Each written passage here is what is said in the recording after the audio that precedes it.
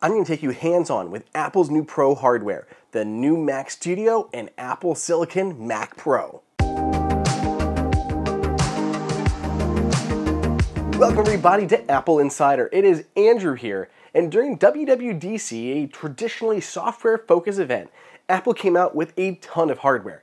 There's the Apple Vision Pro virtual reality headset, there is the 15-inch MacBook Air, and in this video, I'm going to go hands-on with the all-new Mac Studio with the M2 Max and M2 Ultra, as well as the new Apple Silicon Mac Pro. So let's go ahead and dive into it. A couple things to initially note here.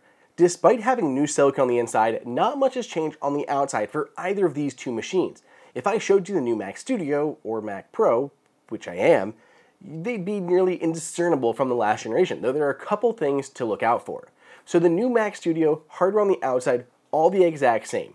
The one thing that did change um, kind of hardware-wise is Apple did include a new higher bandwidth HDMI output. If you max this out with the M2 Ultra on the inside, you'd be able to get up to 8 4K displays.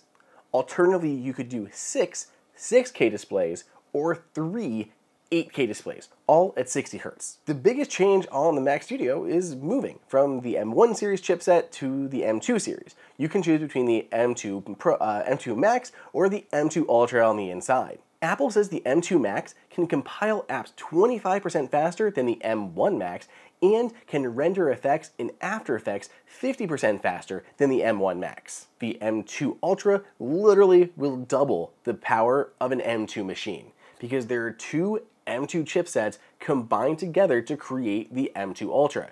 It's got a 24 core CPU and up to 20% faster than the M1 Ultra. The 76 core GPU is 30% faster than the one in the M1 Ultra and the neural engine is now 40% faster than the one found in the M1 Ultra. Those are some big jumps in terms of performance. I was fairly limited in what Apple let me try out with the M1 Ultra, but right now this thing just flies. They had Maya open, which is used to create 3D movies and stuff like Pixar uses this thing, and it's now Apple Silicon native, and it was just amazing working around these renders and seeing how fast this machine was. I mean, the M2 Max and the M2 Ultra are some seriously crazy chipsets, and it's also crazy that the Mac Studio is sticking around. A lot of people assumed that Apple would kill off the Mac Studio when the Mac Pro was finally updated to Apple Silicon.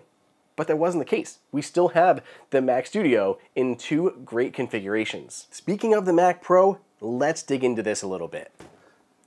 Whoa, hey, if I could just pop in for a second, I need to thank our sponsor for this video, VMware, and VMware's Fusion Pro. Fusion Pro easily allows you to run Windows applications on your Mac without having to reboot. You can easily switch between your native macOS applications and your Windows applications on the fly for a near perfect user cross-platform experience.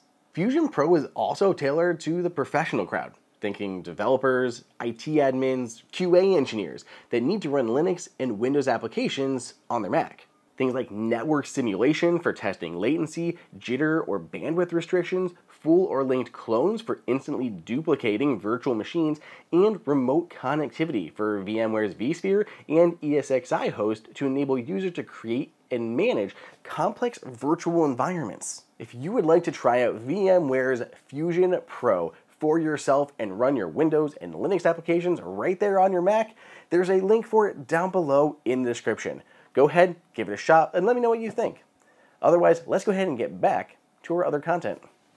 So the chassis is the same that we saw as the prior generation, right? It's the same design that Apple used on the last model that it redesigned. There are a couple internal changes though. So first off, the RAM is now soldered into the chipset, so you can't change anymore. Same thing with the GPU. The GPU is baked in to the Apple Silicon at the heart of the machine.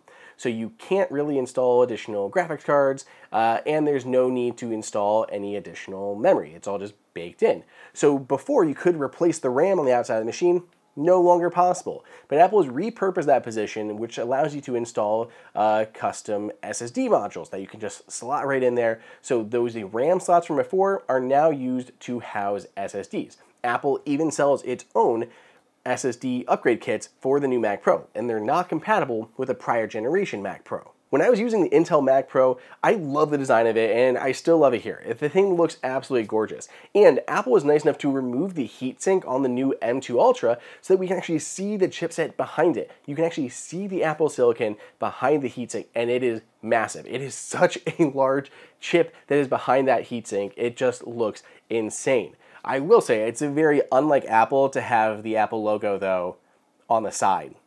It would bother me the Apple logo should be vertical to match the machine. I'm just saying Jony Ive would never have let this happen. But other than that, the design of this guy, the chassis, is basically the same as it was before. In total, there are six PCIe expansion slots.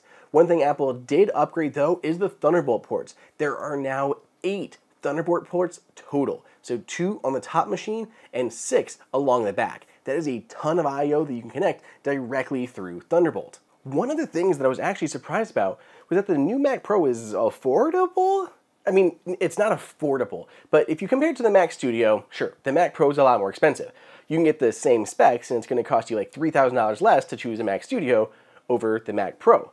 But the Mac Pro still caters to those high-end professionals that need that expandable option. So there's still a market for that Mac Pro connect digital signal processing cards for audio professionals, uh, digital interface SDI or I/O cards for video professionals, or connect professional cameras and monitors and additional networking and storage for those various users. So there's a lot you can do with those PCI slots to customize the Mac Pro to your workflow. And let's be real, we're looking at you know LucasArts, they're not gonna blink at the $3,000 or a few thousand dollar price difference between a Mac Pro and a Mac Studio. But if we look at it compared to the Intel model, it's so much cheaper.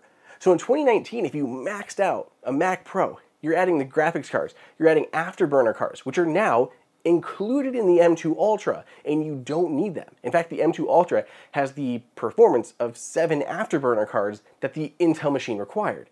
So if you maxed out that Intel version, it would run you like $52,000, $53,000 in 2019. Here in 2023, if you get the new Apple Silicon version and you max it out, all the way, max it out, brand new M2 Ultra, 24 core CPU, 76 core GPU, 30 core 32 core neural engine, 192 gigs of unified memory, and of course we're going to add that 8 terabyte SSD. All that together and you're only looking at $12,200, less than a quarter of what the maxed out Intel version would be.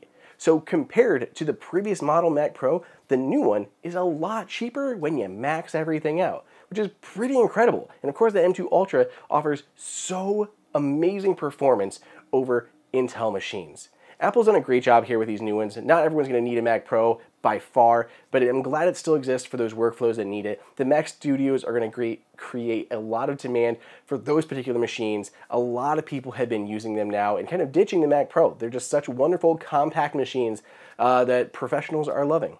Let me know what you guys think of the new Mac Studio and the new Mac Pros. I had a great time testing them out. Go ahead and check out links down below in the description if you're interested in either of these machines. If you have any questions, throw them up on Twitter or down below in the comments.